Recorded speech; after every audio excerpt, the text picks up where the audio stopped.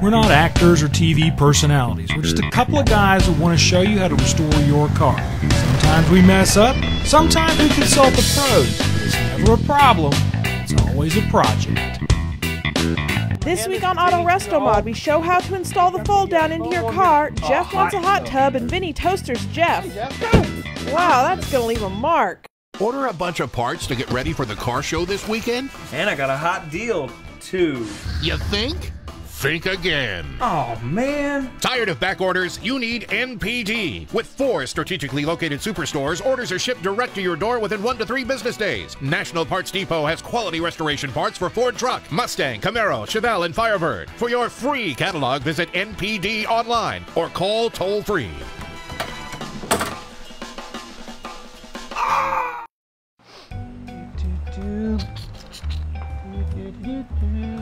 Really? Again with the leather? Leather is just. This really doesn't look like too much work. We ought to be wrapped up pretty early today. Man, you're spreading crumbs everywhere. Dude, I just cleaned Oh, this. sorry. Oh, well, this isn't everything. What do you mean? The, the rest of it's down there on the floor. We better get to work. Tool segment this week is going to actually be pretty brief. You're going to probably need some shims like the ones that we have sitting on the fender here. These are basically just thin plywood that we use to shim up the panels to get them into good alignment in the car. Another thing you're going to need is a pop rivet gun with multiple different rivet setups on it so that you can go in and use the two different sizes of pop rivets that the car is going to require to put the trim panels in. You're also going to need a nut driver set like you did last week. And finally, a set of shims. Now, we got these down at the Home Improvement Center. We like these round shims because, quite frankly, they work really well underneath the deck area when you need to shim the deck up to get one side to align with the other or to get the deck to sit level inside the car. And one last thing, you may need a big hammer because, you know, the hammer is America's favorite tool. Well, but aside from Vinny and me. All right, one of the first things I'm doing here is I've got this plate that goes across the back window and I've installed it. Uh, you'll want to get new fasteners for this because a lot of times these fasteners with the chrome on them is pretty bad. So if you got new fasteners, it'll just brighten up the back. Now you'll need a large format uh, rivet gun like this one here. This is a really nice one we picked up at a home improvement center. And you can get the actual correct pop rivets for this from National Parts Depot. They actually have the kit to put this plate in because it does require pop riveting. All right, now before you go anywhere on any of this stuff, you're going to need to get these outside trim panels in the rear installed because you have to put a pop rivet up here in this uh, corner on both sides of this. And there's also another pop rivet that's supposed to go right here. This was a case on a car where on this particular automobile, nothing was put here. Uh, a lot of times this kind of stuff happens. We're going to go ahead and do it on this one because we want to make this thing right. Now you have to kind of get all three of those pieces singing the same tune. Now we're going to have to go in and drill a hole right here in order to get this one to set right and we're going to use a different size pop rivet. Okay, now what we need to do, since this hole was not conveniently drilled out by the people at the factory, we're to have to go and drill this hole out so that we can get the pop rivet that's supposed to be in here in here. Going in with a smaller bit first. Now I'm to come back in with the correct size. You don't want to put a lot of pressure when you're drilling something like that because what you can end up doing is colliding with your panel and creating a, a little niche like kind of like what we got right here. What I'll probably end up doing is going in and actually dressing that with a little bit of black paint just so it's not as obvious. We can also take our trim black and go in here with a small paintbrush and actually fix these little nicks that you see on here uh, and make that look a little bit better. Now what I'm going to do is I'm going to get the bumper and I'm going to put my bumper in on this side, get the other side finished up, and we'll show you how to put the door on. All right, we got a door ready to go in. I've put some uh, foam actually on the door itself so that we can install it and hopefully not damage any of our... Where'd Vinny go? Hey, Jeff. No! Ow! Aw, man! Really? Sorry about that. I didn't mean to startle you. We're gonna install the door now. I'm gonna hand this to Vinny through the hole. We've got the we got the uh, foam on here to protect it. This is basically some foam that we got from the Home Improvement Center. So I'm going to hand it up to Vinny and let him put it in. I'm just going to kind of hold it in position for him. In my opinion, this is not going to be a job for one guy. You're going to need two folks to do this. This would just be too difficult to try to get this door in here and not damage paint uh, if you had this done by yourself.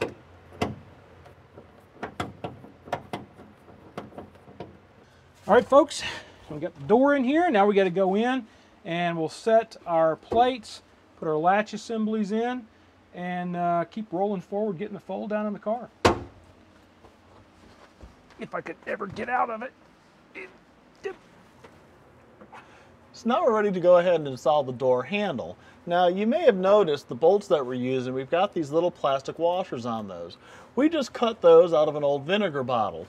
We're using those just to protect the paint because as you're sliding things around and making things fit well, you don't want to scratch up all your painted surfaces.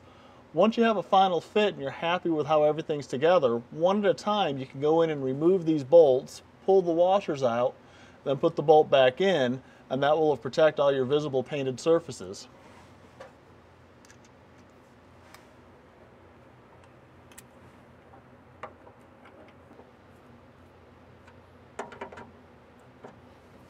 All right, I should be done back here for now. All right, we got Vinny out of the hole, and there's a reason there was a hole there to begin with. We could have gone ahead and put the gas tank in the car a while back, but we haven't done that because it just makes things a lot easier working in the trunk. Anytime you're doing this kind of stuff, if you got the opening here, you can sit inside the trunk, adjust your deck lid, do all these things that you need to do out here in the back of the car that you wouldn't be able to do if the gas tank were in here. If you did it the other way, well, guess what? Somebody has to get inside and lay on the floor in the trunk at some point. And you don't want to do that. We consumed an awful lot of time working on this car, going back in and fixing things. Now, one of the things we did is, because we're going to go in and build a custom trunk enclosure for this car, we wanted to go and use semi-gloss black in here on these areas like this stuff up in here and the arms for the actual uh, deck lid there. So what we used was some SEM Trim Black. We use it on a lot of the cars we do around here, so it's a really good product to use for doing any of this kind of work when you need a black. Now, the other thing we did is we actually had to go in and get some extra paint from a paint store and do some of the blue in here because again, we weren't really worried about it. This car was just going to be a driver, wasn't going to be a big deal. So we weren't going to go in and paint the trunk. But now that we've gone to the level we've gone to, we had to go in and redo that. And that sucked up two days of time masking, taping off, and papering the entire car to put all the paint in there. So just keep that in the back of your mind. This is just a cautionary thing to let you know that you're doing one of these cars, you want to think about that before you get started. All right, your next step on this is to go ahead and get the latches in, followed by the seat fold down portion next after that, and then your inside trim panels go in next. Then you can go ahead and put the deck plate in after all that stuff has been installed and aligned. But your latch goes in first. You want to install this fairly loose uh, so that you can adjust it for position. Now we're just going to tighten these up a little bit. We're going to leave this so it'll slide back and forth so that when we get the back piece in here, we can set it against the latch.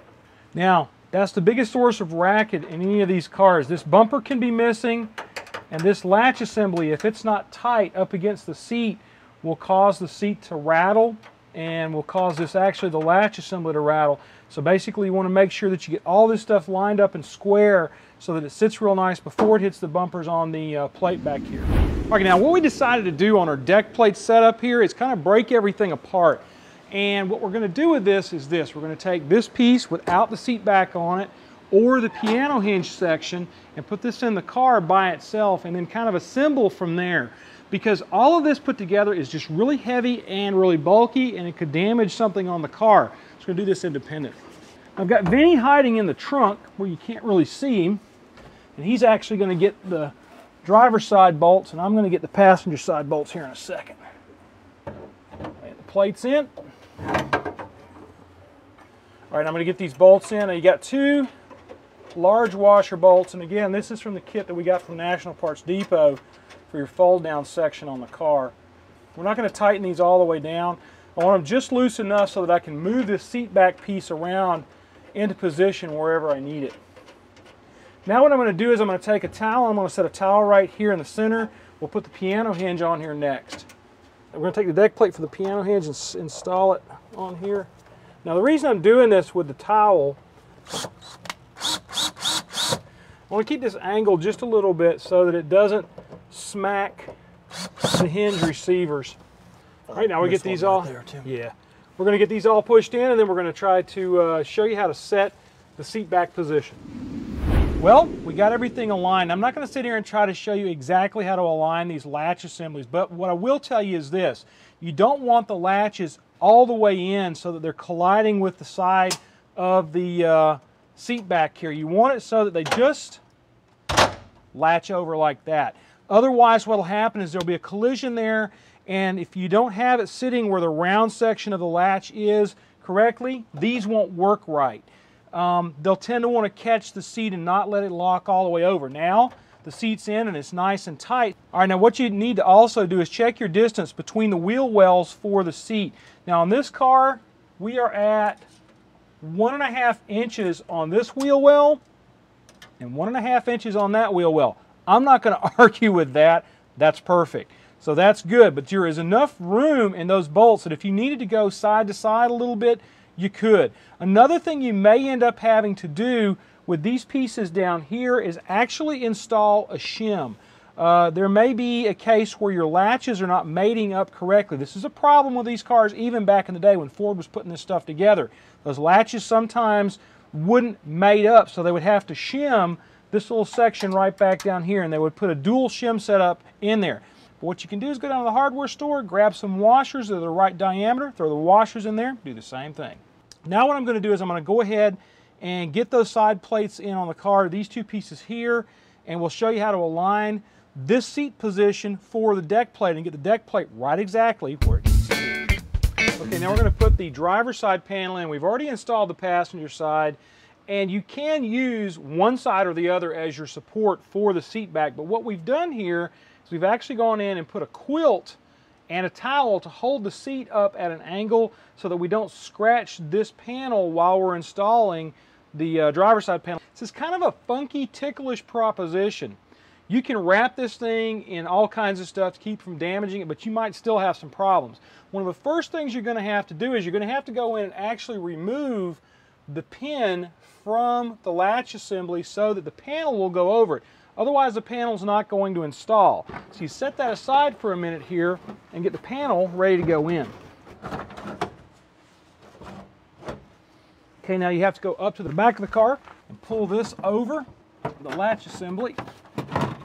And now your panel's in position. Okay, now, before I go in and I grab my wires for my courtesy lights in the back, I'm gonna tell you right now, getting to the wires for the courtesy lights, if you don't leave this panel piece undone, will really drive you nuts. You have to have this loose to be able to get to it, and you don't want to pull this out with the seat forward because you can actually mar your finish right here.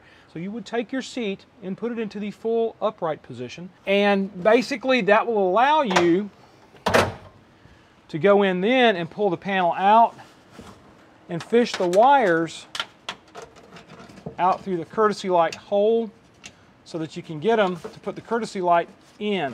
Now, they give you just a ton of lead wire most of the time to get this done. And the courtesy light will just need to install. Then you can go ahead and put your front trim screws in and start working on your lower bolts down here. Now there is a notch on the courtesy light right here, and that notch goes toward the top of the panel like so, so that the light shines down into the back well. Then you can put your trim screws in. Be real careful when you're working on this fiberglass because one of the problems you can run into is you can potentially blow right through the fiberglass putting these screws in. So you don't want to go super duper tight, but you want to get them tight enough that everything fits correctly. Once again, we used a screw kit that we got from National Parts Depot for the back section back here. There's almost as many trim screws in these panels as there is in the uh, fold down section, believe it or not. Okay, now we're going to go in and fold the seat back into position and we'll work on getting these pieces down here to line up correctly. All right, now what I'm going to do is I'm going to go in and set the trim panel in position get it lifted up at the back. Because right now the trim panel's sitting down. It's not actually sitting up where it needs to be at the back of the panel. You can tell that because of where that bolt sits right there. So I'm going to lift that up and start the screw.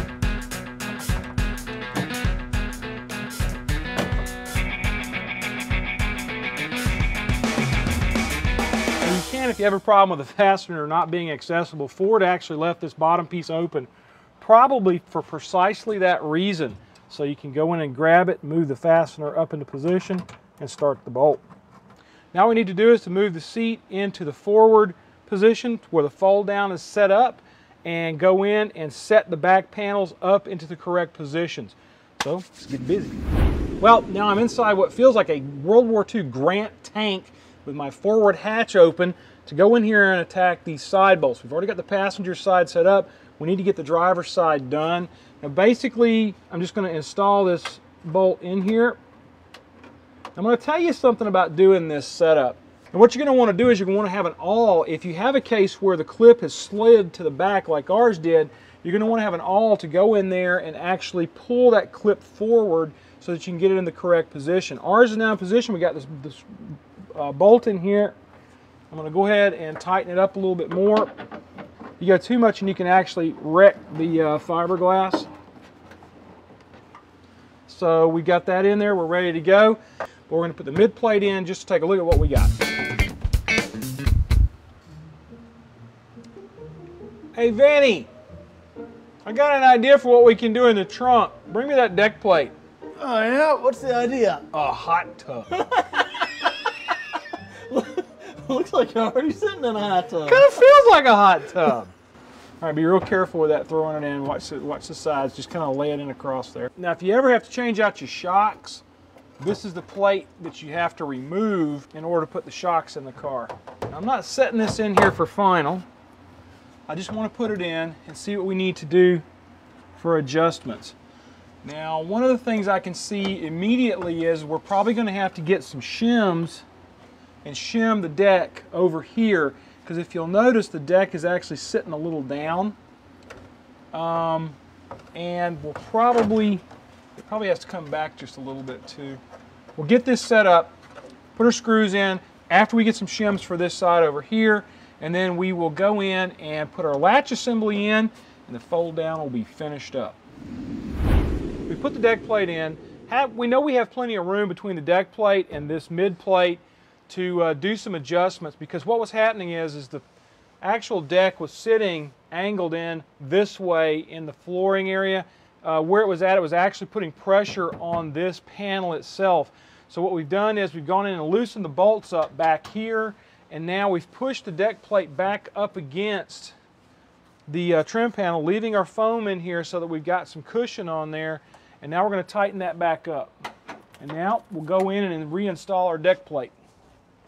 All right, that's the plate. Now, basically, we need to get the back plate in there and check position one more time. We're probably pretty close to being able to go ahead and installing it for final. Um, after we get that done, we need to go in and I'll put in the, uh, the cover plates for the latch assemblies, but we're pretty much ready to button up the bottom half of this, and that's our fold down setup.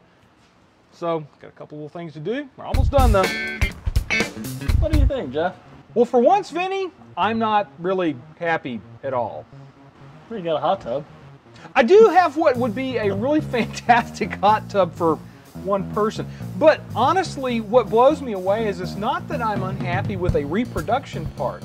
I'm actually unhappy with the fit of the original stuff in this car because these deck plates, all these pieces are original. The only thing that's reproduction that we've got going on here are the trim screws and the stainless pieces, which with a little bit of a fight went on pretty nice. I mean, they look really good, but man, the original stuff is not fitting right. And I mean, there's a little things that we're gonna need to do and go in and fix, but it's all fiddly fiddly stuff. So it's just a matter of going in and fiddling it around. So being as Jeff isn't happy, we got to do a little bit more fit adjustment on the 67. Jeff's going down to Byron next week, and he's going to show you how to repair a panel when there is no aftermarket repair panel. Yep, so that's what we're going to be doing next week. I've got uh, some ideas on how to make that happen. So do us a favor and come back and watch us next week on Auto Resto Mod. Put some water in here, man.